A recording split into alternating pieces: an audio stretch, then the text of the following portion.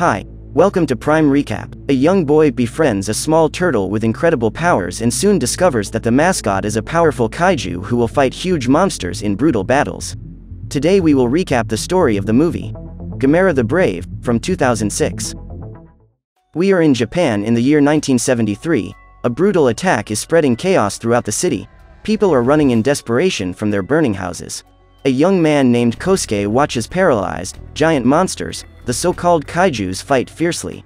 A giant fireball hits one of the beings in the air, while a colossal turtle known as Gamera heads for the battlefield. However an overpowered laser beam hits the huge kaiju injuring him severely. The enemy is in the skies and strategically continues to hit his opponent.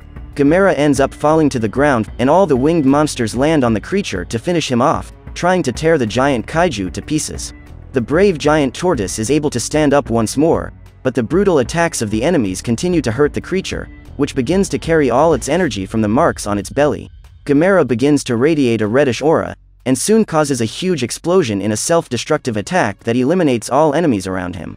Several years later, Kosuke has now grown up, and has a son named Toru, and they are visiting his wife's gravestone. Kosuke tells his son that his mother is living in paradise, but since the boy doesn't believe that such a place is real, he imagines that his mother is now nothing more than a pile of bones.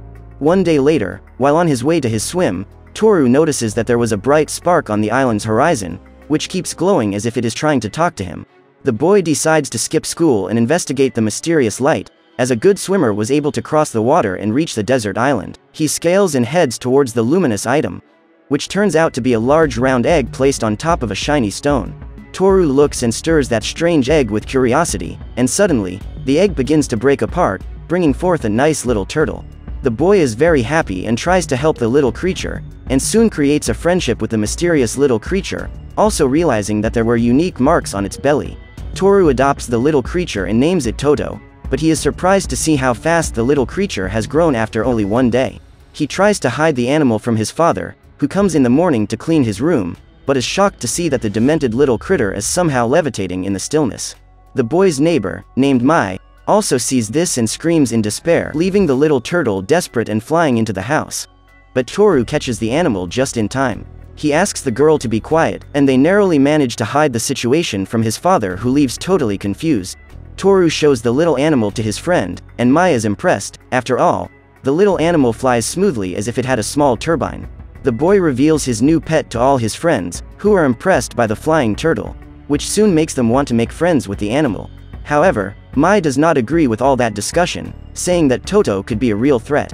She shows Toru information about Gamera, telling the boy that his pet has certain equals to kaiju, even the power of flight. Mai says that he should let the animal go, however Toru has no idea that his pet could become a very dangerous monster. But soon things prove to be the opposite, as Toto grows absurdly all the time, turning into a very large turtle that cannot be camouflaged in the boy's room. Satoru decides to take his mascot out on skateboards, together with his friends, and place the animal inside his secret hideout. The boys are impressed by the beauty of the creature, but Mai is the only one in the group concerned about the origin of this strange creature. Mai again tries to tell Toru about the risks, but the boy denies that Toto is actually Gamera. The girl falls into tears as she tells Toru that she may not be able to take care of him in the future, and leaves in sadness leaving the boy alone. The next day Toru understands what his friend was talking about, as he sees Mai's parents very concerned about her health. The girl will have very complicated heart surgery, with high risks if the procedure goes wrong. Toru starts thinking about his deceased mother, watching Mai's family, realizing how much he wishes she were still alive. He takes the red stone he found with Toto's egg and presents it to Mai, so that she will feel protected and succeed in her surgery. Mai thanks Toru for giving her such importance, and makes a promise to return her as soon as she is discharged, however Mai is feeling a very bad feeling ahead of her. The next day, Toru goes to his secret hiding place and becomes desperate to see that Toto has disappeared. He tries his best to look for the creature with his friends, but none of them can locate him. What they have no idea is that great danger is approaching, as a man is trying to stay alive in his boat, which has been destroyed in the middle of the ocean. He notices that something is not right when some objects emerge on the surface around him. In fear, the man tries to swim away, but is soon pulled to the bottom, leaving nothing but a stain of blood near his float. The Coast Guard has been notified of the sinking, and is looking for the missing people, but very soon they get the information of what really happened. Warning sirens are turned on throughout the city, as people run desperately for their lives, Toru along with a friend, realizes that some destruction has already begun in the distance. Kosuke finally finds them in time and tries to lead them away from the chaos, but as they descend the stairs, they run into several people running towards them, including one of Toru's friends who stumbles. They run to help the boy, but are knocked down by the impact of a concrete pillar that has been thrown by a terrifying kaiju named Zedus, who advances on the population. The creature prepares itself by opening its huge jaw and takes a bite out of the crowd of humans. Then Toru realizes that his friend is still alive, and his father tells the boys to wait there so that he can save the boy. He manages to move forward carrying it on his shoulder, while the kaiju goes all the way towards him, but luckily the monster is intercepted by another creature. We can then see a giant turtle right behind him that roars furiously at the enemy.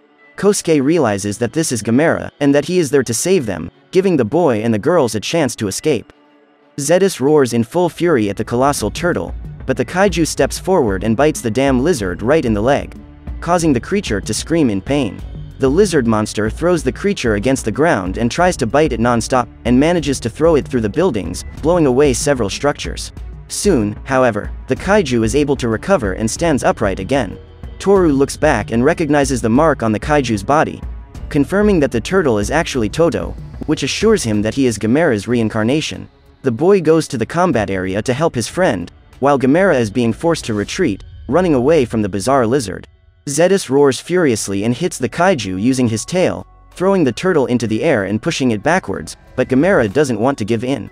The enemy prepares to make his last attack, the lizard hurls its sharp, giant tongue in Gamera's direction, forcing the turtle to dodge the multiple attacks that are leaving the bridge increasingly destroyed. Kaiju manages to hang onto the monster's tongue, launching a fireball at him, causing Zedus to plummet off the bridge straight into the water. Although Gamera won, he is severely injured, causing Toru to run towards his friend, who is soon intercepted by the military who try to block access to the site. The army makes its way to Gamera and tries to surround her, even as the poor thing can barely move her body. They tie him to a military truck, and drive Gamera unconscious while people watch the scene. Toru observes everything and runs to catch up with his friend, who is passed out. The boy keeps running alongside the truck, shouting Gamera's name, but the kaiju can barely open his eyes, and soon after, he is taken away by the soldiers. Toru arrives at the shelter next to his father and questions him about Gamera's true story. Kosuke explains that Toto is the reincarnation of the kaiju who sacrificed himself to protect the world. He tells Toru not to feel affection for the monster, for he will fight other monsters until he loses his own life, but the boy does not want to let his fate come to that. Back at the military base, Gamera finds himself in a laboratory with scientists who are incessantly trying to help him heal, since he is the only living thing that can eliminate the crazy lizard. The military have managed to find many reddish stones in the sea, and believe that Gamera must be related to the artifacts, and inject them into her body. Meanwhile, Toru is on a call with Mai's parents, who claim that the girl said incomprehensible things during the surgery while under anesthesia. Apparently, Mai has formed a psychic connection with the kaiju and knows that he needs the glowing stone so that he can heal himself and close his wounds. Realizing that Gamera is in trouble, Toru has the plan to get the stone back with Mai, so they can heal their creature friend. Kosuke sees his son's farewell letter, causing him to start a search for the boy. At the same time, the scientist is still trying to cure Gamera, not knowing why his techniques are not being effective. Incredibly, the kaiju regains his consciousness, as he senses the presence of Zedus, who is swimming through the ocean towards the city. The medical staff is alerted that the lizard kaiju is coming straight to the Pokemon Center facility, but it is very obvious that Gamera is not yet recovered for combat. At that moment, a giant tail begins to destroy the entire building, throwing everyone to the ground. The ceiling is shattering on top of the poor turtle, and so he can see Zedus, who has returned to finish this once and for all. The people try to get all the inhabitants out of the buildings as soon as possible, because the lizard monster continues to destroy the laboratory using its tail. Toru has also arrived in town, but sees from the news that the monster is attacking the entire region. Realizing that retrieving the stone is the only way for them to achieve victory, the boy immediately rushes to the hospital where Mai is. What he doesn't know is that everyone is fleeing the scene, including the girl, who runs away with her parents as the red stone begins to glow. In the lab, the doctors have managed to survive the attack, and witness Gamera emerging from under the rubble, much more giant than before. The kaiju turtle is now raging. As the lizard continues to terrorize people by spreading destruction throughout the city, while the population runs for its life. Zedus approaches the escaped humans on top of the building and tries to devour them, but is knocked down by Gamera, who has arrived for the battle. The lizard roars in fury and is ready for combat, and starts to push the giant turtle backwards, being able to break Gamera's balance on the ground right in front of Toru.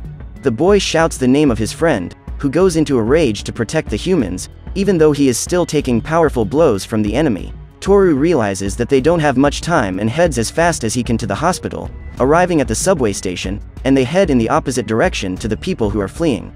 The group manages to reach the hospital building and runs to the upper floors, but to their disappointment, they only find empty beds and no friend. Toru then meets his father in the halls, and the man tries to stop the boy from continuing on this dangerous journey by telling him to forget about the kaiju. However, Toru refuses to give up, because he does not want to see Gamera lose his life, and fearlessly goes to the monster again. Kosuke before going after his son, tells the other boys to go to the refugee camp as soon as possible. Maya is resting in a makeshift location as she witnesses the kaijus fighting non-stop in the distance, and can do nothing to give the creature any help. She gets up and goes to Gamera, but her parents stop her as they have no idea what she wants to do. When everything seemed over, Mai notices another girl who seems to understand what she was trying to do with the stone, and makes a promise to complete this goal for her. The girl runs away from the building, heading towards the kaiju's battlefield, she runs into all the people who are escaping the area. Meanwhile the combat remains destructive, Gamera is suffering fierce attacks, and ends up with his paw pierced by the lizard's tongue, which makes the turtle scream due to the injury. The giant monster continues to attack Gamera with its tail, but the creature does not give up, and continues to take all the beating. Zedus again manages to knock the kaiju down, and continues to descend the blow on it. This opens a gap for Gamera, who, using his bite technique, takes a good bite of the creature's tail, leaving the lizard in desperate pain. However, Zedus begins dragging the kaiju down the street, while scaling a building and keeping Gamera hanging in the air. Suddenly, the big lizard does a front-facing somersault, causing the poor thing to crash into the structure. Toru sees that his friend is in danger and cries out in despair, but what he doesn't realize is that help is coming very quickly in the girl's hands. The problem is that girl carrying the red stone gets stuck in the out-of-control crowd, but wisely passes the mission on to another boy, who continues running to complete the Pokemon journey. But here comes another problem. The boy is interrupted by a policeman trying to save his life, so once again the stone is passed on to a new boy who takes on the mission. The red stone passes by everyone in the group, who come together as a true team of heroes to save the world.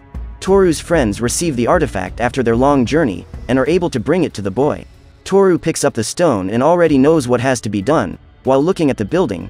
He promises that he will do everything to make sure that the kaiju does not die once again, and surprisingly, and his father decides to help him in the mission, running alongside him to Gamera. However, Zedus also begins to climb the skyscrapers in an attempt to eliminate Gamera for good. The creature finally gets to the kaiju's side and pierces the turtle by flicking its sharp tongue, causing huge injuries to Gamera. The pair then arrive at the building, and Kosuke makes his way through the rubble so that his son can go ahead on his own and reach the turtle. The boy immediately runs upstairs and reaches the room where Gamera is being held, and realizes the level of his injuries. Toru tells the kaiju that he brought the stone so that the creature can live, as he refuses to see a loved one die in front of him once again. However, the schizophrenic lizard leaps into the building and attacks Gamera again with its tail, pulling the kaiju away from the boy. Toru quickly throws the rock into the creature's mouth and Gamera plummets like a plastic doll, causing a violent impact wave as it collides with the ground. The boy runs to the edge to see what has happened, and we can see that Gamera was able to stop the fall using his blue energy, so he has his full power back. The turtle throws itself into the sky, covering everything around it with dust, and all the young people look at it with joy since they have managed to save it. Gamera starts spinning his hoe ripping through the sky, dashing full speed into the giant lizard, hitting it and knocking it off the top of the skyscraper. But Zedus comes out from under the wreckage and bites Gamera on the neck. This forces Gamera to recharge his energy from the marks once more, and in the building next door, Toru and his father watch the battle closely. The soldiers rush to them to get them out, as they believe the kaiju is about to self-destruct, but the boy says it will never happen again. So everyone continues to watch. Gamera manages to push the enemy away, grabbing and tearing the creature's tongue to pieces, Gamera prepares to launch his final attack, glowing even stronger, emitting a gigantic heat around his body. The kaiju launches a huge fireball that flies directly at the lizard monster, causing the creature to explode into several small pieces, consuming itself in flames and destruction. After finally achieving victory, Gamera falls to the ground totally exhausted and the army heads towards him to capture him again. However, they are stopped before they reach the kaiju, as Toru and his friends refuse to let the humans take away the freedom of the warrior turtle. And so they shout for the monster to run away from there. Kosuke tells the soldiers that they should give up now, as all the teenagers form a barrier around Gamera to protect their great friend. Gamera wakes up after a while and looks at Toru for the last time, as he gets up so he can say goodbye, and leave for another world. Everyone watches in amazement as the creature flies back into the sky, spinning with its hull at full speed and disappearing into the blue expanse, which makes Toru thrilled, knowing that his friend is finally free.